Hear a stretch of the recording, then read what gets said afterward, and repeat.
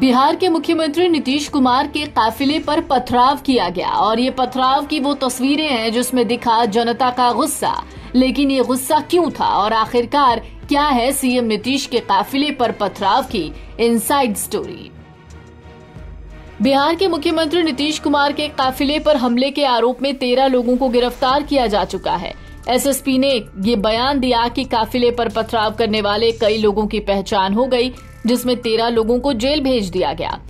बाकी आरोपियों की तलाश चल रही है। इस बीच हमले के दौरान ऐसा क्या हुआ था? चलिए आपको पूरी खबर समझाते हैं। दरअसल, सीएम नीतीश कुमार के काफिले पर हमले के पीछे एक लड़के की हत्या का मामला है, और इस लड़के का नाम है सनी। सनी कुमार सात अगस्त से लापता है। सनी कुमार की जब तलाश हुई तो वो नहीं मिला।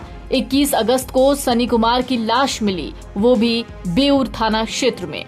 लोग शव को लेकर सड़क पर उतर आए। सनी कुमार के परिजनों का आरोप था कि सनी घर से गायब सात अगस्त को था। शिकायत के बाद भी पुलिस ने कोई कार्रवाई नहीं की। अगर पुलिस एक्टिव होती तो शायद सनी ज़िंदा होता। पुलिस की लापरवाही को लेकर लोग सड़क पर उतर आए और आरोपियों को सजा दिलाने की मांग करने लगे। सनी के शव को सड़क पर रखकर लोगों ने हंगामा करना शुरू कर दिया, जिसके बीच सीएम नीतीश का काफिला वहाँ पहुँचा। स्थानीय लोगों का कहना है कि युवक की हत्या की गई है, इसलिए वो शव को सड़क पर लेकर विरोध कर रहे थे। जब सीएम नीतीश का काफिला वहाँ से गुजर रहा था, तभी गुस्साए ग्रामीणों ने सीएम के काफिले पर पथराव कर दिया, जिसमें कई वाहनों के शीशे टूट गए। इसी दौरान नीतीश कुमार के कारकेड में चलने वाले वाहनों पर भी पथराव किया गया। किस्मत की बात रही कि मुख्यमंत्री के कारकेड में चलने वाली गाड़ियों पर हमला हुआ, उस वक्त नीतीश कुमार इस काफिले में नहीं थे। गौरीचक के सुहागी गाँव में हुए इस हमले में सीएम के काफिले के तीन से चार वाहनों के शीशे टूट गए।